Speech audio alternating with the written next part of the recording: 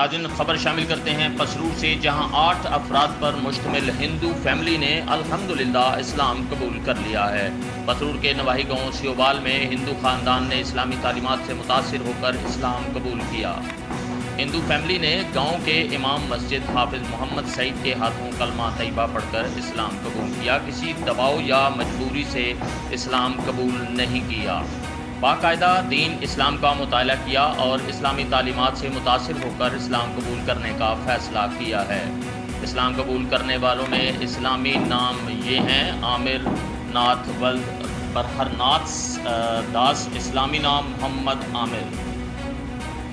जमीला कौसर, सना, मोहम्मद आफ्ताब, किरण, रिदा और फरीहा शामिल हैं। इस मौका पर इलाका की बहुत बड़ी तादाद ने वहाँ पर शमूलियत की है। मस्जिद में बहुत सी आवाम देखने को मिली। अहल इलाका ने नो मुस्लिम फैमिली को मुबारकबाद दी और खुशी के इजहार करते हुए मिठाइयाँ तकसीम की गईं।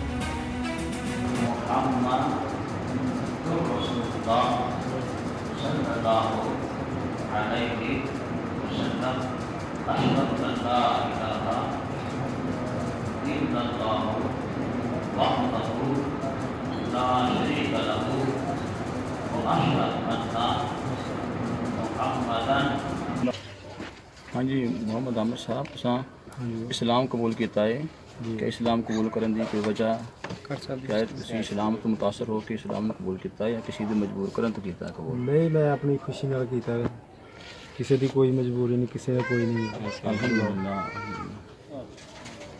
तो इस्लाम के तकाजे तो मुतासर होकर इस्लाम को कबूल किया जी। हम्म। अल्लाह ताला को इस दीन इस्लाम